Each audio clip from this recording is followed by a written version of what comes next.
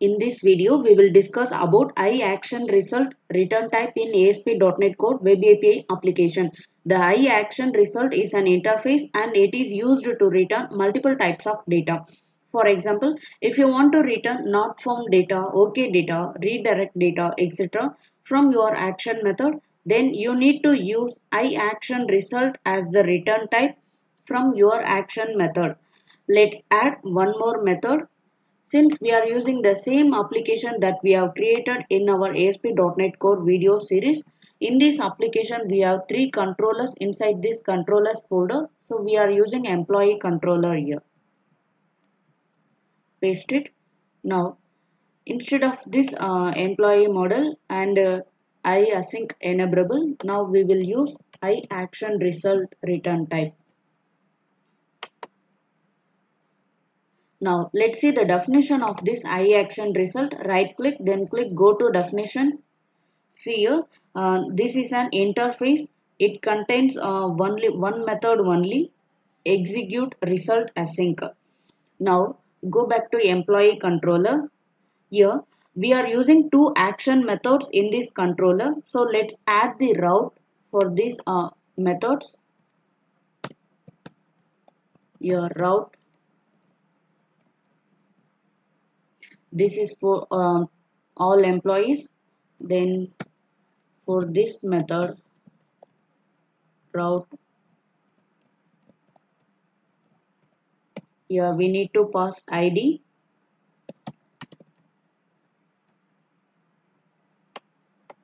int id okay.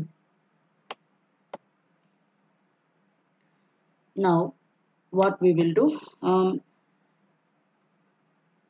we have a list of four employees here. We are getting the list of employees in this variable list employees. Now if the list employees count is greater than 0 then we will return ok method. Uh, if the count of uh, employees is 0 means we will return not found method. Let's remove this for each state, uh, statement here. Here if list employees dot count greater than 0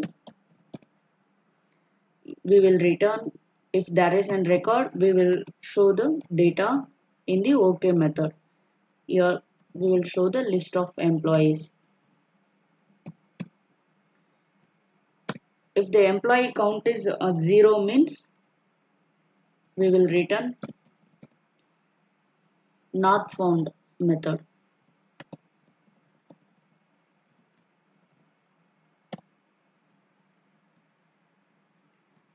now uh, we can test this result in postman. Okay for that uh, save and run this app. Copy this url and open the postman. Um, make sure that you are in a get method then paste the url here. Uh, go back to visual studio. Here see the base route. First we have to append api then controller name. Now we are testing this second method. Uh, for this we have to pass the id so in the postman api then controller name employee then pass id then click send.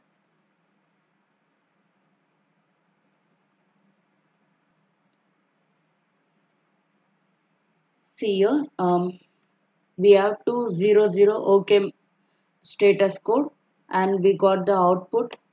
So we have total four records. Now if you want to get single uh, employee id for that go back to visual studio stop the execution.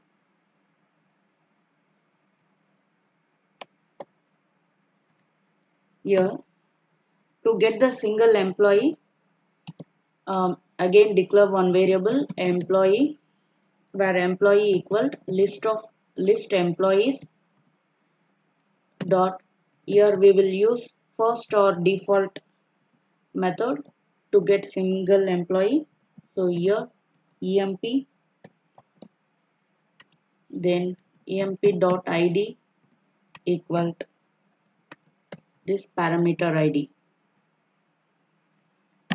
here we are getting the single employee if the id is matches with this uh, list of employee id okay.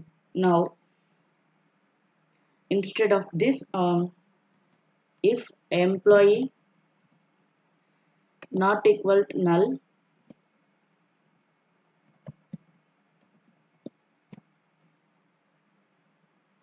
we will return em that employee particular employee only.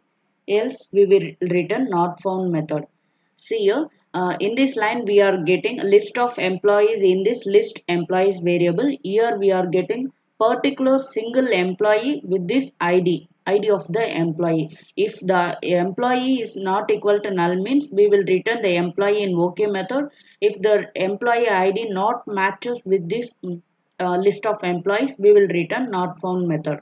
Okay again run this app.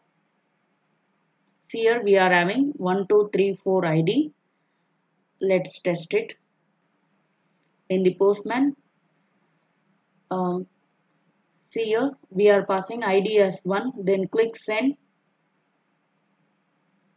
here we are getting only particular id of this id 1 okay if i change the id as 4 then your id should be 4 and name will be emp4 let's click the send button here we are getting 200 OK status code. ID is 4 and name is EMP4.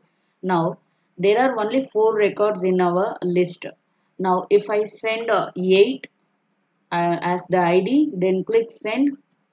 This time we are getting uh, title not found status 404. We are getting 404 not found status code. Okay. So far we, are, we return two different types of data from this action method. Now, uh, benefits of i action result is it allows us to return multiple types of data along with status code. This is very important for RESTful APIs. We can return the data using some built-in methods that are OK method, not found method, content method, redirect method, etc we used OK method and not found method. Uh, we will use uh, remaining methods in our upcoming videos. So iAction result is an interface and allows us to return multiple types of data. The drawback of uh, using iAction result type is as it returns multiple types of data. If you are using Swagger, then it will not be able to identify the output uh, for this action method in this scenario we have to mention explicitly and type of this action method uh, as an attribute. This only the drawback of this iAction result. Thanks for watching this video